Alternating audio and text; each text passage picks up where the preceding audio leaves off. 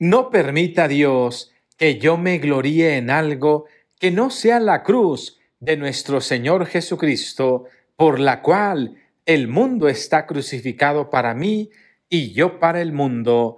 Aleluya, aleluya. Bienvenidos sean todos ustedes a esta mi parroquia digital. Yo soy el Padre Sergio y quiero compartirte con muchísimo entusiasmo las lecturas de la Santa Misa del día de hoy, martes 14 de diciembre. Además, en este día, recuerda que pedimos por todas las personas que se nos han adelantado. Por favor, escribe sus nombres en los comentarios. Muchísimas gracias y que Dios te lo pague. Y bueno, ahora sí vamos a por comenzar. Por la señal de la Santa Cruz de nuestros enemigos, líbranos Señor Dios nuestro, en el nombre del Padre, del Hijo y del Espíritu Santo. Amén. Primera lectura del libro del profeta Sofonías. Ay de la ciudad rebelde y contaminada, de la ciudad potente y opresora. No ha escuchado la voz, ni ha aceptado la corrección, no ha confiado en el Señor, ni se ha vuelto hacia su Dios, pero hacia el fin daré otra vez a los pueblos labios puros, para que todos invoquen el nombre del Señor, y los sirvan todos bajo el mismo yugo, desde más allá de los ríos de Etiopía hasta las últimas regiones del norte, los que me sirven me traerán ofrendas. Aquel día no sentirás ya vergüenza de haberme sido infiel, porque entonces yo quitaré de en medio de ti a los orgullosos y engreídos, y tú no volverás a ensoberbecerte en mi monte santo. Aquel día, dice el Señor, yo dejaré en medio de ti, pueblo mío, un puñado de gente pobre y humilde. Este resto de Israel confiará en el nombre del Señor, no cometerá maldades, ni dará mentiras, no se hallará en su boca una lengua embustera, permanecerán tranquilos y descansarán sin que nadie los moleste. Palabra de Dios te alabamos, Señor. Al Salmo responsorial número 33. Vamos a cantar jubilosos. El Señor Escucha el clamor de los pobres. Bendeciré al Señor a todas horas, no cesará mi boca de alabarlo. Yo me siento orgulloso del Señor, que se alegre su pueblo al escucharlo. Todos, el Señor escucha el clamor de los pobres. Confía en el Señor y saltarás de gusto. Jamás te sentirás decepcionado porque el Señor escucha el clamor de los pobres y los libra de todas sus angustias. ¿Todos? El Señor escucha el clamor de los pobres. En contra del malvado está el Señor, para borrar de la tierra su recuerdo. Escucha en cambio al hombre justo y lo libra de todas sus congojas. ¿Todos? El Señor escucha el clamor de los pobres. El Señor no está lejos de sus fieles y levanta a las almas abatidas.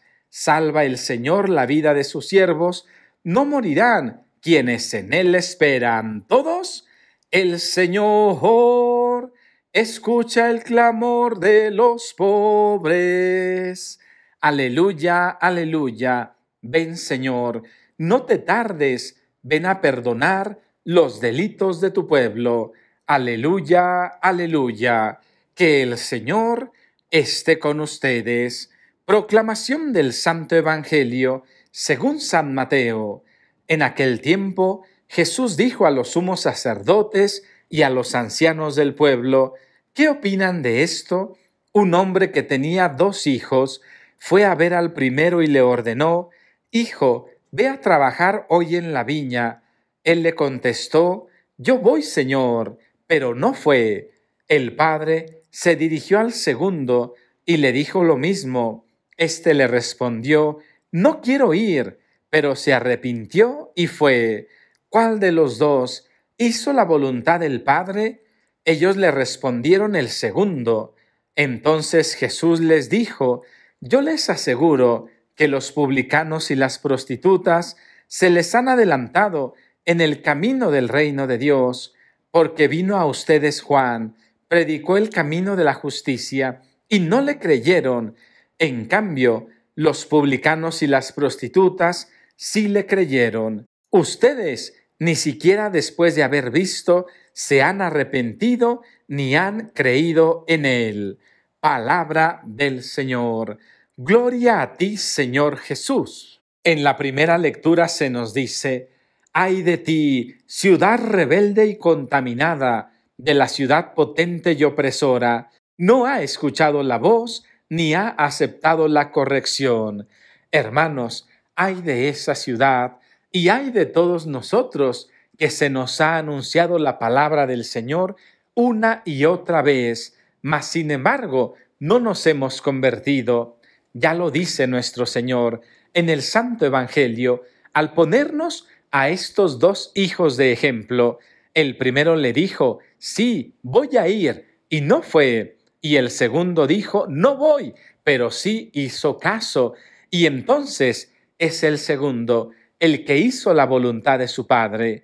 Hermanos y hermanas, con esto es importante que nos demos cuenta que para el Señor no basta decirle, sí, sí, voy a hacer tu voluntad, pero si seguimos pecando, si seguimos con la misma vida, si seguimos con los mismos problemas, el Señor se da cuenta y no vamos a recibir el premio prometido. Claro que sí, yo ya te lo he dicho en muchas ocasiones, pero que quede entre tú y yo. Como iglesia tenemos que dar testimonio, porque también las personas nos están observando. ¿Qué nos critican a nosotros los católicos? Pues que vamos a misa, que rezamos mucho, pero que no cambiamos de vida. Por lo tanto, hermano y hermana, tenemos que cambiar de vida, tenemos que cambiar de actitud. Imagínate qué triste que por mi mal testimonio, que por decir que nos portemos bien, que por decir que yo soy un buen sacerdote y al final no lo sea, algunas personas se alejen de la iglesia. Eso no sería justo, pero también aplica para ti. Imagínate que la gente vea que escuchas todos los evangelios de la parroquia digital, que vas a la misa con frecuencia, que rezas el rosario, mas sin embargo sigues portándote mal, sigues siendo enojón, sigues siendo berrinchudo, sigues maltratando a los otros, sigues siendo grosero, sigues mintiendo, o cometes infidelidad, o robas, o no respetas a tus padres, o eres tan egoísta y tienes un corazón tan duro que no te animas a perdonar a nadie. Hermanos y hermanas, yo solamente quiero remarcar que nuestro Señor bien que se da cuenta, ciertamente, Él es infinita misericordia, es infinita bondad, pero también se da muy bien cuenta de que muchos de nosotros decimos sí, Señor, sí, Señor, pero no hacemos nada. Así es que desde luego tenemos que ponernos a trabajar. Espero que yo no te espante con esto que te digo, sino más bien espero que te sirva para que reacciones, para que te des cuenta y te pongas ya en el camino que conduce al cielo. Quedan unos pocos días para Navidad.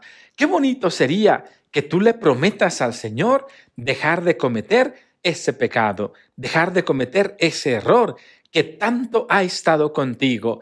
Ánimo, date cuenta, cambia de vida, cambia de perspectiva y entrégale tu corazón arrepentido a Jesús y verás que de esa manera Él te va a recompensar de maneras maravillosas, de maneras increíbles. Si tú te animas a cambiar de veras en nombre del Señor, por favor, pon una flor en los comentarios y una estrellita en señal de esperanza.